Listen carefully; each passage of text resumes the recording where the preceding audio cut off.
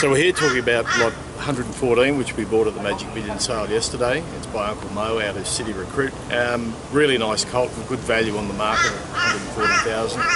Uh, family we've had a lot of success with, uh, including Nick who's a Group 2 winner, Rose of War, who was a Group 1 placed Group 2 winner. Uh, it's a good serviceable family and he was a really nice athletic colt who continued to improve.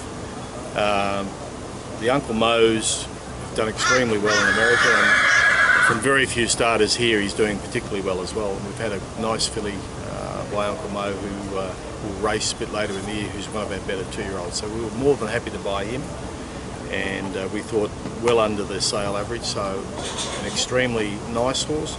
BOBS uh, eligible, not VOBIS, but BOBS eligible. So anytime we go to New South Wales with horse, we can always be expecting to get some bonus money with him uh, up there. So I think he's really good value at 140,000 on this market, which is punting at about 180,000 on the average at the moment. Plan with him is to get him home. Uh, we usually give our Magic Millions horses two or three weeks off because it's a very uh, stressful sale and it's a long trip home. Give them that little break, then send them to the breakers. Uh, there's every indication a colt like this would go early, so we'll hopefully put him into our system and see how early he will go. Um, but good value on this market.